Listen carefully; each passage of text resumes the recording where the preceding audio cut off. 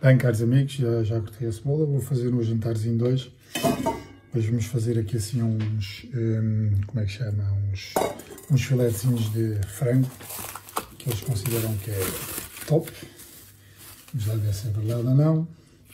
Praticamente o que vou fazer é só dar um golpe assim no meio de um deles, em todos. Já cortei o alho. A ideia vai ser fazer esta coisita com tempero de alho, limão e cúrcuma. E depois no fim meter um bocadinho nada com sal, como é óbvio. E depois devemos pôr um bocadinho de pimenta no fim, porque dizem que faz muito bem à imunidade, juntar cúrcuma com pimenta fresca. Então é nisso que vamos, estamos a precisar nesta fase do campeonato aumentar a nossa imunidade. Veem, são só a parte de baixo do peito, que é a parte mais dura do frango. Então o que eu vou fazer é, perdão, é pôr, vou lavar a mão, é pôr tudo aqui dentro, neste precisamente assim, não sei se conseguem ver nesta posição, mas o que eu estou a fazer é juntar o alho Agora vou cortar o limãozinho.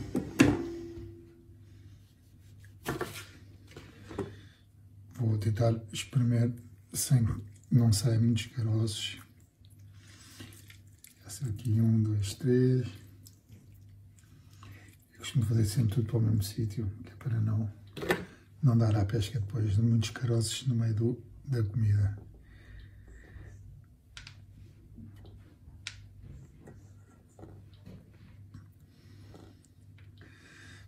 Depois a seguir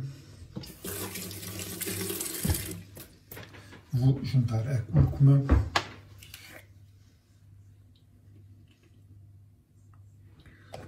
Um bocadinho assim. E depois sem ter medo de sujar as mãos. Vamos então misturá-los bem. E depois só no fim é que se mete o salzinho antes de pôr ali a fazer a grelhar na frigideira. Eu, o que vou fazer hoje é, vou fazer isto com uh, óleo de coco, que é mais saudável, a acompanhar com umas com estes, uh, nunca percebi bem como é que se chama, para mim são brócolis, mas chamam-lhe grelos de qualquer coisa. Pronto, até já. Bem, vou começar a fazer os, os grelos. Estou a ligar agora o, o bico errado. Eu componho os grelos, depois meto logo a água a ferver, já para adiantar um bocado de trabalho.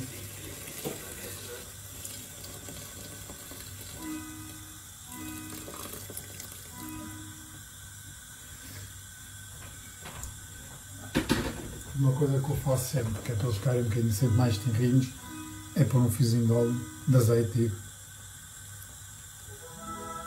para ficarem com um bocadinho mais de sabor, é um conselho que vos dou, já puxá-lo. Agora, isto aqui é, é, o óleo, é o óleo de coco. Só aqui remover isto e depois já volto para começar a fazer aqui a carninha. E esquecemos de explicar porque é que eu normalmente faço este golpezinho aqui assim ao meio porque isto é um nervosito aqui no meio, então corto que até ela não começar a, a, perder a forma. Só por causa disso é que eu faço o, o golpe. Até já. Bem, caros amigos, estamos de volta. Uh, aqui os grelos, os brócolis, ou como é que eles chamam isto, estão a cozer com o tal fizinho de, já com o sal e o tal fizinho de azeite, extra virgem, como é óbvio Aqui já tenho uh, o óleo de coco a derreter. Está a passar na frigideira toda para ficar tudo bonitinho. E a seguir vou pôr a carninha que preparei há bocadinho com cúrcuma, alho e sumo limão e depois por cima meto um bocadinho de sal quando for altura. Isto é só praticamente estender aqui estes filetezinhos. Já vos disse que dou aquele cortezinho para cortar a gordurazinha que anda para ali pelo meio, que é para não ficar todo torto.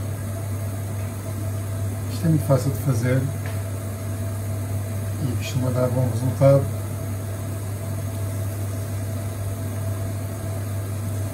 Não, nunca vos vou pôr isto, como estamos a comidinha caseira, não há cá empratamentos e essas coisas todas. Também podemos chegar um dia, podemos fazer essas coisinhas todas, se vocês acharem bem. Também fazer uns empratamentos para ficar isto mesmo. Tenho que ir deixando este arrumado que são da minha mata. E para quem me conhece já sabe que mata mesmo.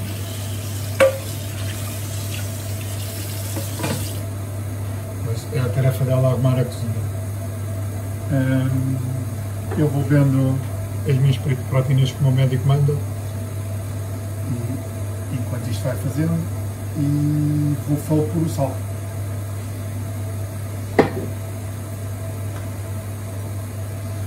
Por o sal.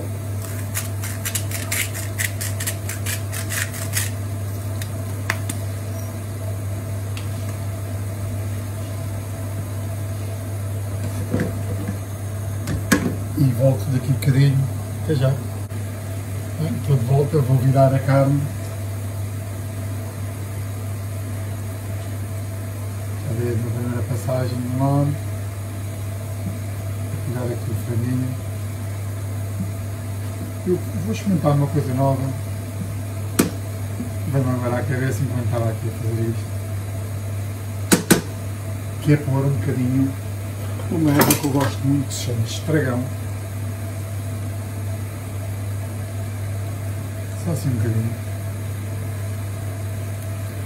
O estragão dá um sabor muito forte e doce. Eu também, para cortar um bocado o limão que pus. Hum, espero que resulte. Espero que vocês também. Se não tiverem, é uma boa. é um bom tempero para pôr na, para fazer arroz, para fazer carne grelhada principalmente, eu gosto muito de pôr um bocado estragado e tipos de coisas, mas é uma boa erva para vocês provarem. Vamos ver como é que isto está, vamos dar mais uma voltinha. Aqui a carninha. Entretanto já fui arrumando a louça da máquina.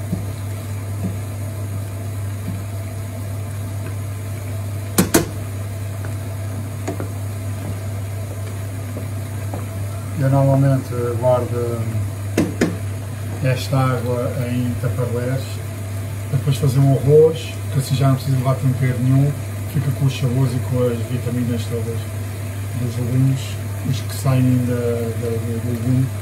Eu costumo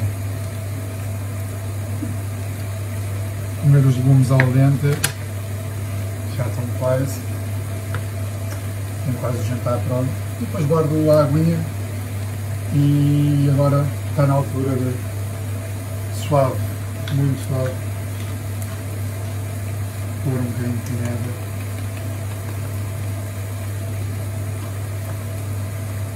Por cima.